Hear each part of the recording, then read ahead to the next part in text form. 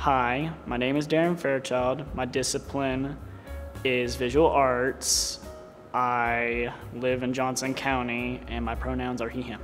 I think art is important for a lot of things. Uh, everyday society, without even thinking it, you see art all around you. And it's very important to acknowledge that in a sense. I know this is a little bit cliche, but uh, I've always been into art. I've done it since I was a kid. It's like built into me. I really feel that attached to it. I feel grounded whenever I'm doing art. Uh, it helps me. It's like almost therapy sometimes. So in a way, it's just art makes me who I am, and without art, I can't do it. Whenever you look at my piece, I want you to not only see that piece as it is itself, but I'd like to see if you can even see me in that piece.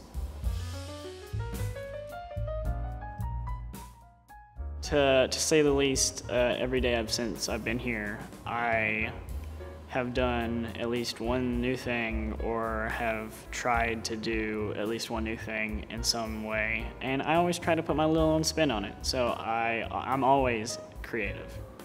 So sometimes I'll try to do like some specific things. Um, I'm feeling pastels today or I'm feeling charcoal today. Uh, and I might go off of that, but sometimes I'll do just like mixed media, like whatever, like whatever I feel goes towards that uh, piece, whatever I feel might put my emotion best into that piece to get my inspiration, I'll always like first off like if I'm like looking for something specific, I'll obviously just look it up and then like I won't go by the first thing I see, but I'll like pull up a bunch of different things. And then I'll also look at some art that like artists specifically that inspire me. I've met quite a few people I think I have stuff in common with for the most part. Um, but it's always interesting looking around and seeing everybody else's pieces and seeing how different everybody is.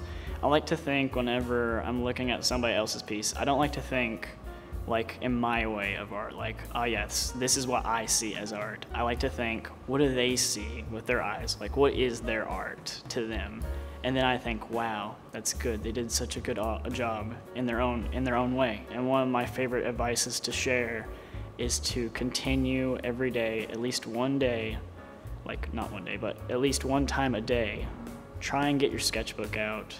Try and put one line on that sketchbook. It doesn't matter if you can only put one line down that day. As long as you put something on that sketchbook, you're good. As long as you put that one brush stroke on that canvas, you're good.